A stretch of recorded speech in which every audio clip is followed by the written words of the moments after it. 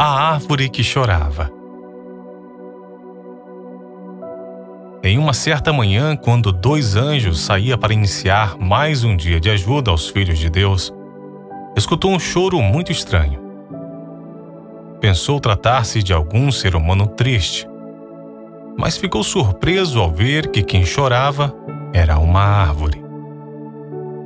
Então ele perguntou: Por que choras, dona árvore?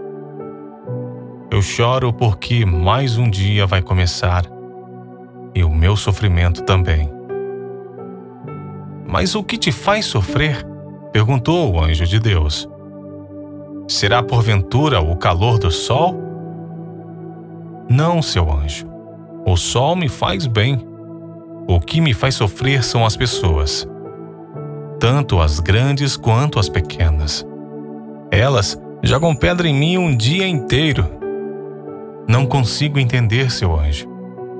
Eu faço de tudo para agradá-las, mas elas continuam me maltratando. Está vendo essa árvore ao lado? Não produz nada. E ninguém maltrata ela. Mas eu, que me esforço tanto para produzir deliciosos frutos, só levo pedrada.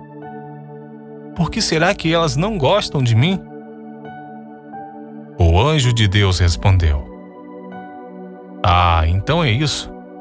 Tenha calma. Você está enganada. As pessoas gostam muito de você e dos seus frutos. Por isso, elas jogam pedras em você. É para pegar os seus deliciosos frutos. Será, seu anjo? Eu tenho certeza, minha amiga. Preste bem atenção, pois essa frase não é minha, é deles, dos seres humanos e é tão antiga quanto a própria humanidade.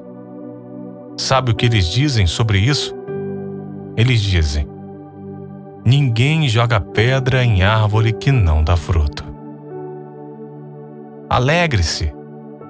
Se estão jogando pedras em você, é porque você está produzindo bons frutos. Como diz em 1 Pedro capítulo 3, versículo 17, é melhor sofrer por fazer o bem, se assim for a vontade de Deus, do que fazer o mal.